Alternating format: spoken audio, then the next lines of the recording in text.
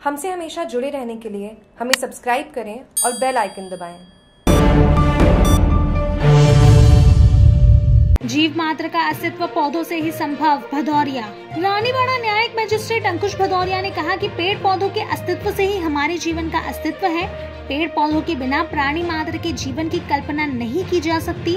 यही हम सबके जीवन का आधार है।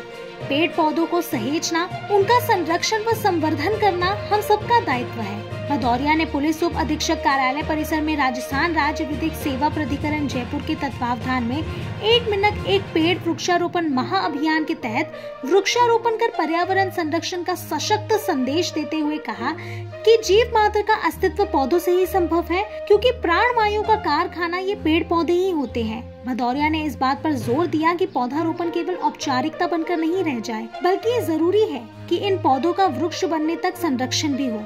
उन्होंने पुलिस जवानों को निर्देशित किया कि सभी लोग इन पौधों की सुरक्षा की ज़िम्मेदारी का निर्वहन करें। पुलिस उप अधीक्षक रतनलाल मेघवाल ने कहा कि प्रकृति ने हमें सब कुछ दिया है। इसे सहेज के रखना हम सबकी नैतिक ज़िम्मेदारी है। प्रकृति के द्वारा प्रदत्त पर्यावरण के विरुद्ध कार्य करने से समूचे वायुमंडल प्रदूषित हो चुका है।